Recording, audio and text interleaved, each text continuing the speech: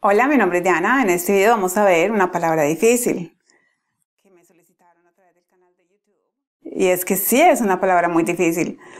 yo no recordaba qué tan difícil era hasta que pensando cómo explicarla, ah, pues, hasta que ah, lo recordé tratando de pensar cómo explicarla. Y es que, ya, les voy a decir por qué, tiene, por qué es difícil. Tiene varias cosas difíciles. La primera es que el sonido de la W debe ser marcado.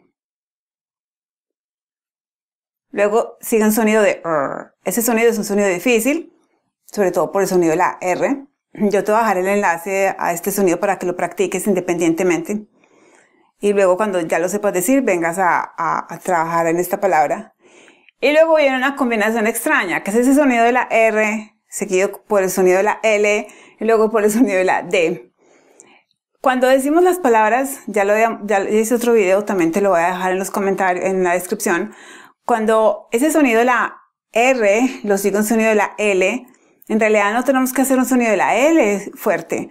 Simplemente con solo sacar, después de hacer el sonido de la R, sacamos la lengua y, ahí se pronuncia un sonido de la E. No tenemos que hacer muchos de L. No tenemos que hacer mucho esfuerzo para hacer el sonido de la L.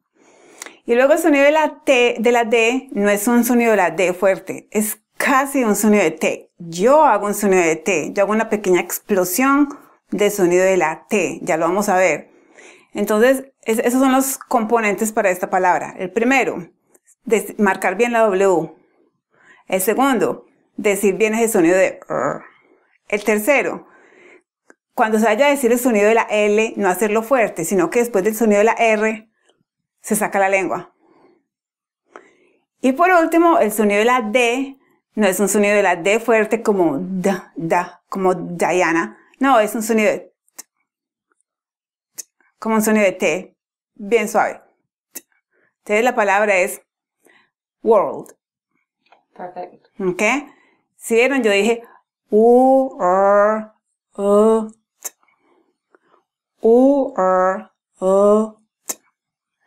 World. Perfecto. Ok, vamos a ver, Amanda, cómo es este sonido, esta palabra.